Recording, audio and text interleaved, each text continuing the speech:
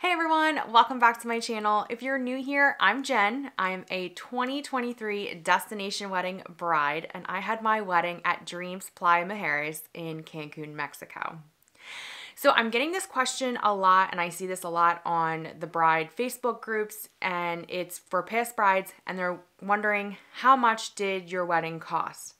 So today I wanted to break down my budget planner that I was given from Dreams Playa Mujeres, and then I also want to go over another spreadsheet that I created that breaks down all of the little things that brides tend to forget that they've spent on their wedding. Now, I did spend two years planning my wedding, so all of this money was spent over a two year span, but I will say that there are little things that I just totally forgot about, and I spent a lot of money the month before the wedding. So, hopefully, with this video, I can also save you a little bit of money and you can buy things before you, a month before you go away. okay, so let's get into it. I'm gonna actually share my screen because I think it's a little bit easier. So, I'll go over the budget first, and then we'll go over the, the other spreadsheet. Okay, so this is the wedding budget planner that Dreams Playa Mujeres sends to you. So when you sign up for, or when you sign your contract for Dreams Playa Mujeres, they will send you this planner. And basically what it boils, like what it breaks down to is there is a wedding planner form where you can put all of your information. And then there's a budget planner, your flowers, seating chart, music and programs to give to the DJ. And then if you are going to do any welcome bags and you want them to deliver it, that's where you would put this. So I'm going to pull up the budget planner. Okay. So these prices have definitely changed. I know that because I booked, like I signed my contract, I think I want to say in 2021, I think it was. Um, and I knew that prices were going to be going up, I believe in 2023. But because we had booked so early and our contract said the 7500 I was able to keep that price. So, also because I booked well in advance, I was able to use the Beyond Memorable package. So I do recommend that if you have more than 50 guests that are coming, this is a really awesome package. It includes a lot, um, and it was a little bit cheaper to do it this way. So one of the things that I found kind of frustrating about the budget planner is because there are so many packages, this is just a generic planner.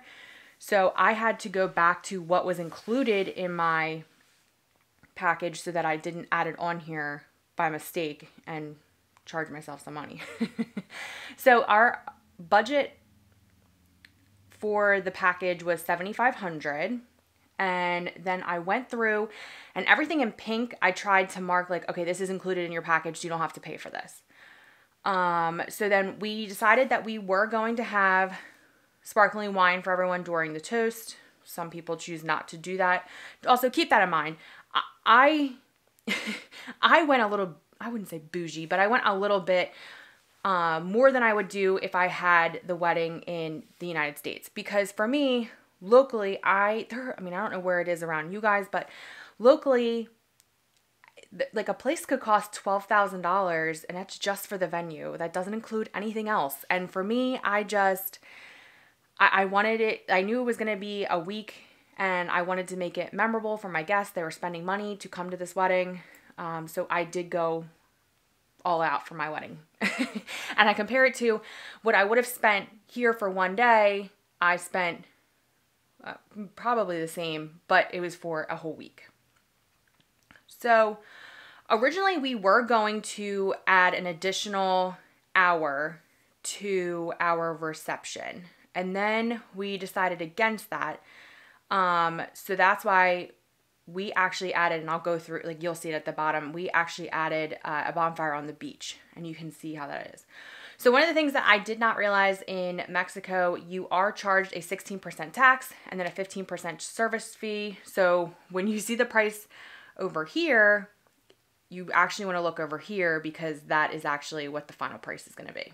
So we had 54 people, so I did six bottles, knowing that we'd probably have some left over, and then that is what it came to. Um, I also added the take a shot, find your seat setup, which then came over to here. And then I brought my own sign for that and I brought my own name tags for the shot glasses, which I made with my Cricut. Um, I also did a margarita station, which I do highly recommend. Unfortunately, my husband and I did not get a margarita because we were late to cocktail hour because we were taking photos and my the bustling of my dress took a little bit longer than I thought it was going to. But I actually just this morning had a guest text me about what margaritas I had at the wedding because they were craving one and they wanted to make one themselves. So I fully like I highly recommend doing the margarita station uh, and and even to take the shot find your seat because like it, you don't get that around at least near us. So um, I thought that was like a really nice option, and my guests really really enjoyed it. And like I said, they're still talking about it, so that's nice. So this is actually where the rehearsal, like you can add things onto your rehearsal dinner. So I decided against adding anything to the actual rehearsal dinner. I we did do the taco bar. It was the 2 hours private event and that was basically included in my Beyond Memorable package. So I did not use the sound system for my rehearsal dinner. I ended up using the sound system for the bonfire on the beach, which I highly recommend because it just added something to this event.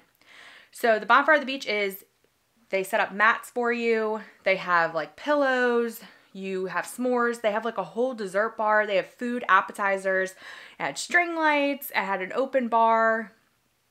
And it was amazing. And it had like three cocktail tables. And it was so much fun.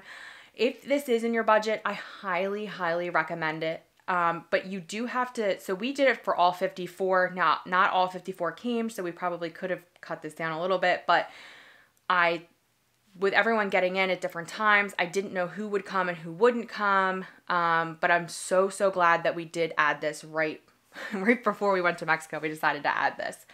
Um, I in the beginning thought that the rehearsal dinner included everyone, not realizing that it was just a minimum of 30 people. So just keep that in mind if you are thinking that the rehearsal dinner with the Beyond Memorable package includes everyone. It does not. So this was just a great way for everyone to get together. Like I said, more people were coming in at different times, and then we got to see everyone uh, actually the night before the wedding. So that was great. So coming down here, so we did bring our own officiant. So we didn't do any of this. We uh, actually got married back in the States after the wedding, and that is something that we chose as a couple. Uh, I know a lot of brides will either get married uh, right before they go or right after they go. And we just chose right after because we just wanted that moment to be in Mexico on that date and not beforehand. So we didn't have to do any of this. And then, so as part of the Beyond Memorable package, you do get white drapes on the gazebo. One is in the front and one is on the back, and they're like on opposite corners. We chose to add a tropical, this huge tropical corner arrangement. Uh, I, I, I think it was 100% worth it. Uh, Marcella knocked it out of the park, and we'll, I can kind of show you right here actually. Uh, maybe you can't. Actually, I think it's down. I'll, I'll show you like when we get back down to it. Um, oh, here it is. So we added this right here. I did not do this but I did do this. And then we had a drape on this side, and then on the back side of the gazebo, we had another drape. And I think it was perfect. I didn't I wanted the ceremony to be very simple but still have the added touch of the tropical flowers. I felt for me, if I was bringing all my guests to Mexico, I wanted a tropical theme. I didn't really want flowers that you could get back in the States. And I don't know why that ended up down there, but it did. Um, okay, so what I did is was I sent the picture to Marcella and then I waited for her to give me a price and then she was able to give me a price. And then what they did was they took that corner arrangement and they put it on our sweetheart table and then we were able to put our Mr. and Mrs. sign in on the table but it was kind of in the flowers. So I, in hindsight, I kind of wish I would have done a different color for the Mr. and Mrs. sign because I did rose gold and they kind of blended in so you couldn't really see them. Kind of wish I would have done white. Wasn't thinking ahead of time on there. So that was everything that I added to the ceremony. Um, so I didn't add any of this stuff, but they also give you like, you know, different options and um yeah, I didn't really, like I said, I really just wanted to keep it kind of simple. I didn't add anything to the aisle. We just went with a simple aisle runner, uh, which was provided by them, and I believe that was also part of the, yeah, that was part of the Beyond Memorable package. And then also part of the Beyond Memorable package is the shoe check. And there's like a little sign that says like, check your shoes here. Um, I thought that was cute. It was just like a small addition. If that wasn't part of the package, I honestly, I probably wouldn't have added it. I just, I, because it was offered, I, I did take it. Um, the only other thing that I did add to the ceremony, and I will show a picture of this, was we rented an easel and a welcome sign from the company Magic Love. They dropped it off and then they picked it up the day after the wedding, which was great. And we just paid like a rental fee and we gave them back all of like the boards and that that's perfect. That's all I needed. So then what I did was okay. So I did have five bridesmaids, but then I had my mom and then my mother-in-law and they both did not want corsages corsages. so I uh, did bouquets for both of them, and then I used all seven bouquets plus my bouquet as centerpieces for the reception, which worked out perfectly. Could not have gone any better because honestly, what do the bridesmaids do with those bouquets after the ceremony? They just lay them on the table anyway. So I just used them as centerpieces. So I needed seven. I also did seven boutonnieres. So we did um, five groomsmen, my dad, and then we did give one to our officiant, uh, which I thought looked great. I like it, like all matched. It was perfect. So then I did rent the vases for the uh, bridesmaids bouquets from the resort. I just felt I already had five bags going to Mexico. So, and I didn't want to risk getting stopped by customs and having to pay for a tax fee or anything like that. So I did bring some decor, but I did not bring a lot of decor. And I, most of the time, it was more just me trying to save room and then save myself from getting stopped by customs. But we ended up getting stopped by customs anyway. So, um, so I did rent the vases, and then I also did monstera leaves under the under the vases. So it was one for each table and that's what that cost. Now, in hindsight, could I have brought those myself? Yes, because they lay flat, but at the same time, I was just trying to make it easier on myself. I had a lot of other things I was like thinking about.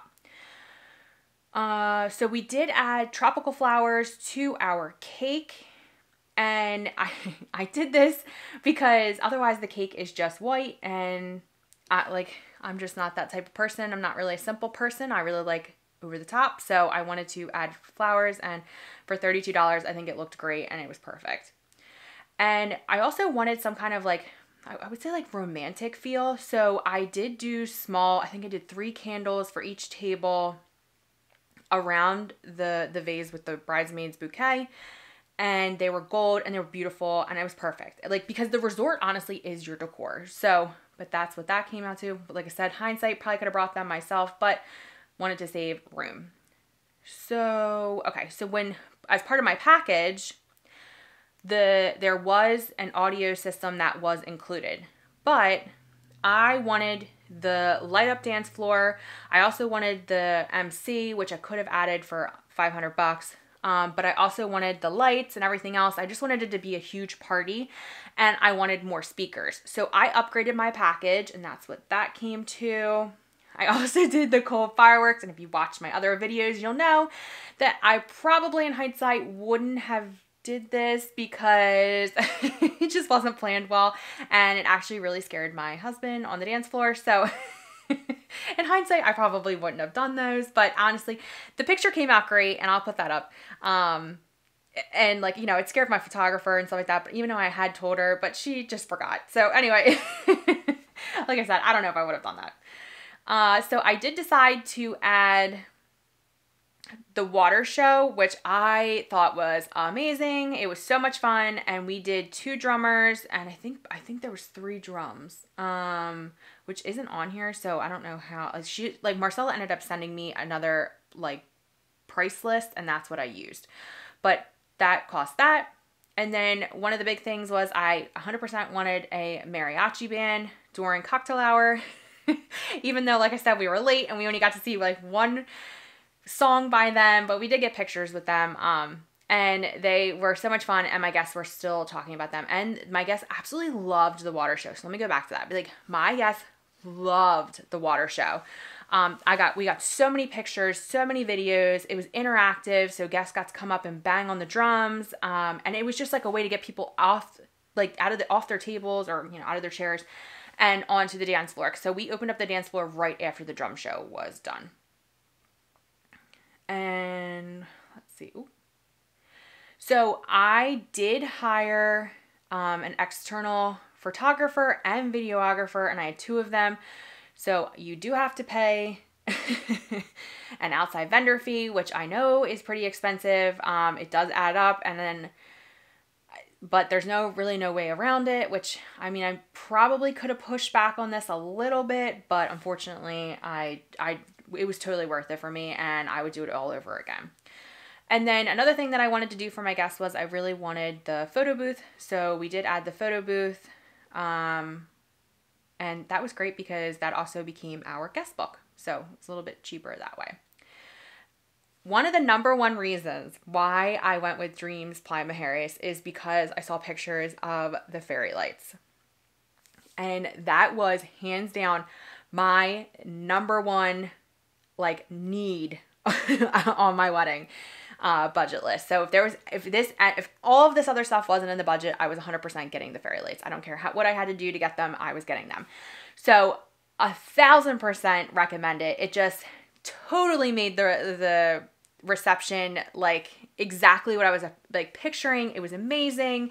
Guests talked about it. They like they just felt like everything was just so like just great. And and that like people are still talking about our wedding and we're like 2 months away. Like 2 2 months since, right? So like yeah, I just people have come up to me and said it was like the best wedding that they've ever been to. So, um, I also did do external hair and makeup, and once again, did have to pay that fee, which, like I said, it's a little expensive, but um, totally worth it. And a thousand percent, I would do it all over again because I love my hair and makeup, and uh, the girls love their hair and makeup as well. This giant love light up letter- letters was a last minute ad. I didn't know if it was going to be in the budget and it wasn't a big deal if I didn't have it, but I really did want them. And then actually, the day that we met with Marcella when we were at the resort, I had happened to see someone do their initials actually like J and M um the night before and I was like is there any way possible we could switch it to J and M and she said if it's available we'll do it if not we'll just do the love and it ended up being available and perfect and I absolutely loved that. So this breaks down basically, whoa, whoa, whoa, whoa. Sorry. This breaks down uh, our wedding package. The basically this was what we what did we do here? This was I think this was um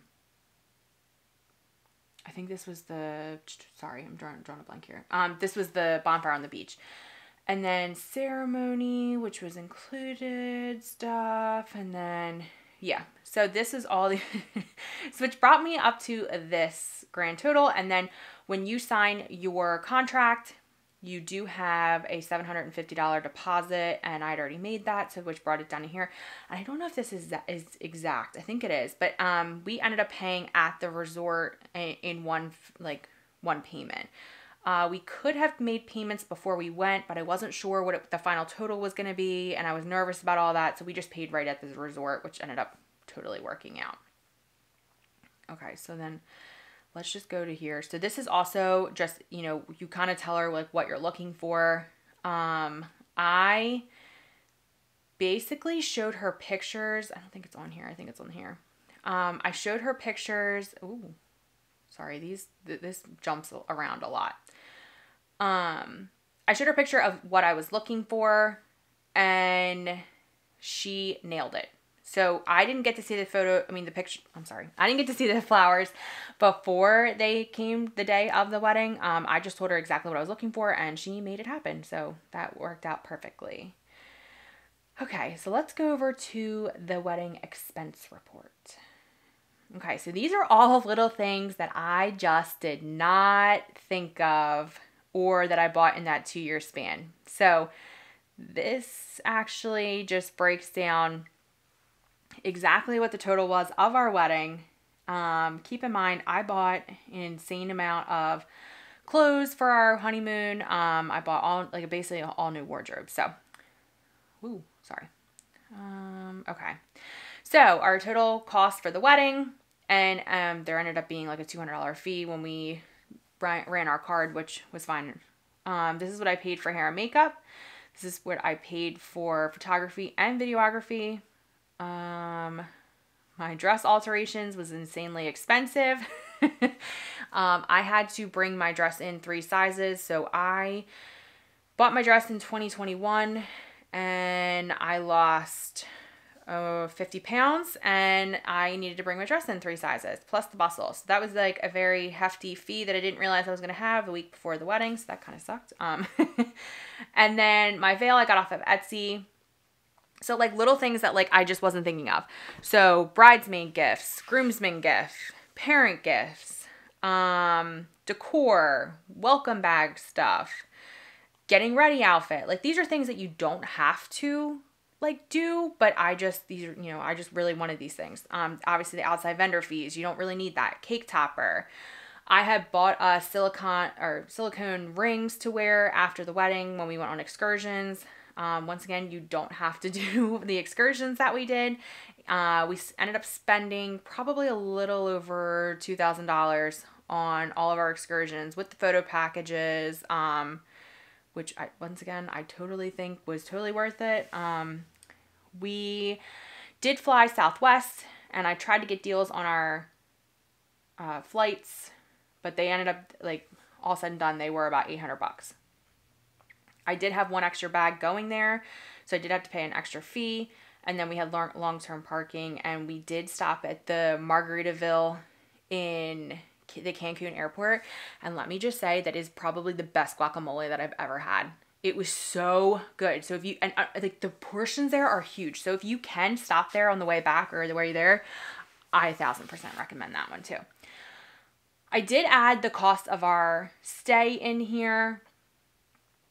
Um, so we booked the junior suite preferred oceanfront room with a private pool. Um, but we did get upgraded to a master suite, which that does not include that because I really don't know what the cost of that was. We did um, have to have dog care and cat care um, here while we were gone. Uh, so I did add that in. You also have tips. So we spent a good amount of money on tips. So we tipped, I mean, you know, you've tips just for being there, like, you know, drinks and stuff like that. I tipped hair and makeup, um, Marcella, the DJ and the MC, my officiant, uh, the person that dropped off my easel and the maracas. Like there were so many other things that, like I said, add up and you just don't think about. So with the welcome bags, like, and then here's the thing: you don't have to do these things. Like I, this is just things that I did. So I brought, I like the groomsmen gifts, right? It was, I got their belts, sunglasses, knives, socks. Like there were so many different things. Um, my girls, I bought all of them pajamas to wear. Uh, I paid for all for their hair and makeup. They had barefoot sandals, jewelry, uh, beach bags. Like I tried to. Oh, and their hangers. Yeah, I bought hangers and stuff like that. Um, some of our guests had was one of them. My uncle was retiring, and then Mike's cousins were celebrating their 20th anniversary. And then Mike's cousin was also celebrating her birthday. So I went and got banners made for them. Um, my mom and my mother in law, we went on Etsy and got them evening bags with a personalized. Uh, a personalized picture in the in inside and you know like things like that just things like i bought the table numbers um we bought a new GoPro before we went. I'm so glad that we did that because that like totally made it so much better. Uh, portable chargers. I all of the picture frames that I bought for the signs that went into that. the guest book for the photo booth. I bought that on Amazon. Thank gosh that came really that came super fast.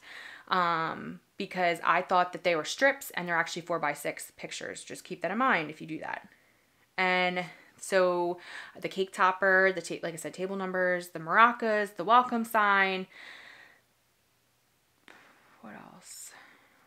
Oh, we ended up buying a shelf when we got home. I don't know why he kind of had that in there. Um, a shelf when we got home, and it was for all of our wedding memorabilia, um, so that people when they come over they can see it. And there's just things that we bought like hair products. um, let's see. I oh I did buy hair extensions, strapless bra, water shoes, and like I said, I spent a good amount of money on Shein for a grand total of $53,000. So, once again, it's just keep in mind $53,000 got us a 12 day stay, airfare, our entire wedding, and what else? Our excursions. Like that's everything all all included. And this was over a two year period. So like don't think that i just spent this like and like some people spend that like keep in mind some people spend this on one day one day in the states. So just see what you're getting for that money and try, try and compare it that way. So if you are thinking about doing a destination wedding you can do it on a budget. Like don't think that you have to do exactly what i did. I like I said, just wanted to go a little over the top for my guests who were paying to be there. And I knew I was getting way more stuff included in that $50,000 or $20,000. You don't have to spend everything I did. But keep in mind, like, people spend that for one day in the United States. And so that was what I kept saying to myself was, my guests are going to love this. They're going to talk about this for the rest of their lives. Some people probably would have never gone to Mexico if ever in their life in their uh, life if I did not have my wedding there. So not only was it an experience for me, it was also experience for them and they got a vacation out of it. And like I said, everyone really really enjoyed themselves. So I really hope that this video helped in breaking down what a wedding, a destination wedding could actually cost or what it could not cost like cuz you probably look at me and be like, "All right, well I'm not going to do any of those things. I really just want to do the package and what's included and our stay and then that's it." Like I said, you could totally, totally do that. I will have everything linked down below of what I did purchase off of Amazon and all the other things. And if you have any questions, please comment down below. I can send you my budget planner. Like I said, I know that a lot of the prices have changed. Um, they've gone up, but you can at least get an idea of what what I did add and I can kind of show you what I added and how much that was. If you like this video, be sure to give me a thumbs up. Be sure to subscribe for more destination wedding videos, and I will see you on the next one.